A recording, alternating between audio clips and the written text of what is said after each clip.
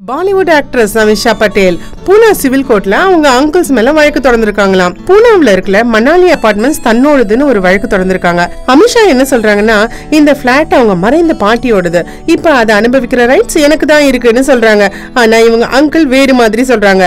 ரெண்டாயிரத்தி பத்துல அவங்க ஊருக்கு போயிருக்கும் பொழுது டூப்ளிகேட் சாவி போட்டு அமிஷா உள்ளே வந்துட்டாங்கன்னு அவங்க தரப்பு சொல்லுது.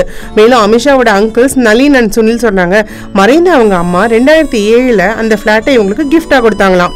அதற்கு ஆதாரபூர்வமான பேப்பர்ஸ் எல்லாம் இருக்குன்னு சொல்றாங்க. அமிஷா இவங்க அம்மா மாதிரி சைன் போட்டு அந்த ஃபிளாட் பேப்பர்ஸை வாங்கிட்டாங்க அப்படின்னு அங்கிள் சைடு பழி சுமத்தி இருக்காங்க இந்த கேஸ் டிசம்பர் பதிமூணாம் தேதி கோர்ட்டுக்கு வருமா?